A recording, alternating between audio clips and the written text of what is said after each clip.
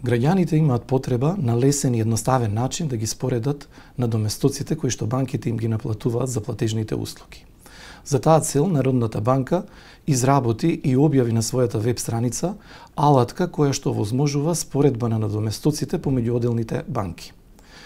Исто така Народната банка дефинираше поими за најчесто користените платежни услуги кои во овој случај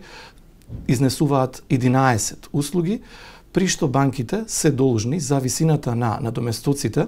за овие услуги да состават информативен документ кој што исто така се должни да го достават или да го дадат на граѓанинот пред воспоставување на деловен однос со него, односно пред склучување на рамковен договор. Банките овие информативни документи за надоместоци ги имаат објавено на своите веб страни, при што истовремено и Народната банка во рамки на алатката на едно место ги објавува сите информативни документи.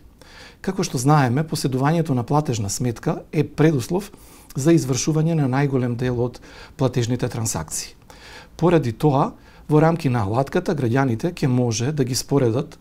трошоците, односно надоместоците кои што банките им ги наплатуваат за одржувањето на платежна сметка.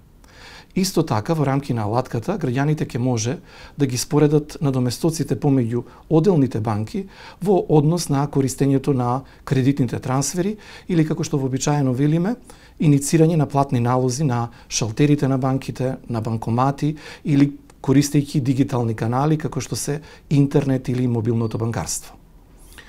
Овие надоместоци исто така зависат и од тоа дали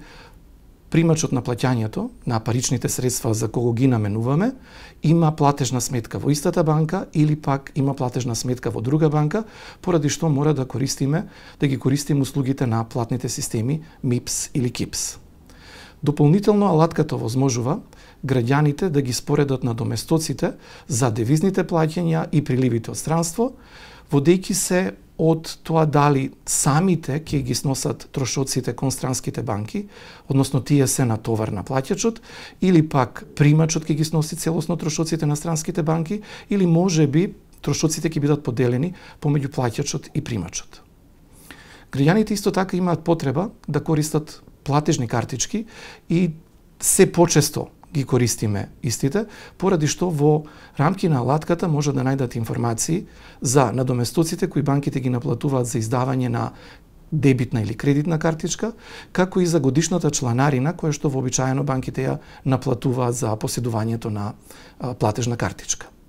Повлекувањето готовина исто така многу често го користиме, поради што во алатката се содржани информации за тоа колку чини повлекувањето на готовина на шалтер на банката, доколку повлекуваме директно од платежна сметка, или па користиме дебитна или кредитна картичка за да повлечеме готовина од банкомат на банката. Во случај кога повлекуваме готовина од банкомат на друга банка во земјата или странство, секако трошоците се повисоки, поради што истите се прикажани во алатката за да може граѓаните да ги споредат помеѓу одделните банки. За извршување на платежните трансакции, понекогаш имаме потреба да користиме дозволено пречекурување, односно така наречено влегување во минусно салдо на сметката, поради што во алатката се прикажани и каматните стапки кои што банките ги наплатуваат во случај кога влегуваме во минусно салдо. Севкупно, алатката на Народната банка има возможува на граѓаните на едноставен и лесен начин да ги споредат на доместоците,